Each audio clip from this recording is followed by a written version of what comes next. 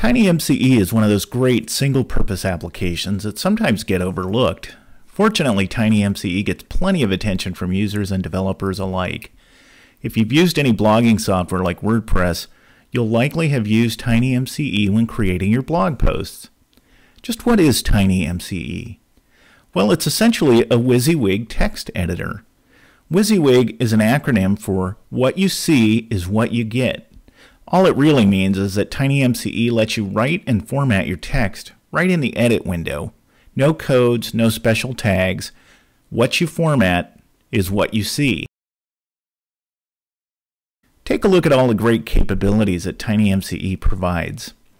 In addition to the standard tools like bolding and underlining, TinyMCE provides multimedia integration. You can insert photos, graphics, and even videos into a TinyMCE document. TinyMCE provides a templating system that lets you easily insert tables, for instance. This can save you a lot of time.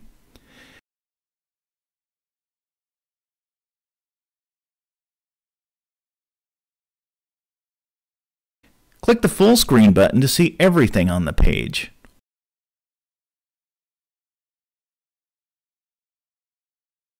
TinyMCE lets you look under the hood at the HTML code that it's actually using to format your text. Of course, that means you can easily use anything you write in TinyMCE in a blog or other website with little or no modification.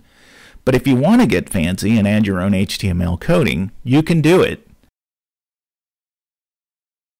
TinyMCE can easily be integrated into any web application you write, but as you can see with Click2Try, you can use TinyMCE as a standalone editor as well.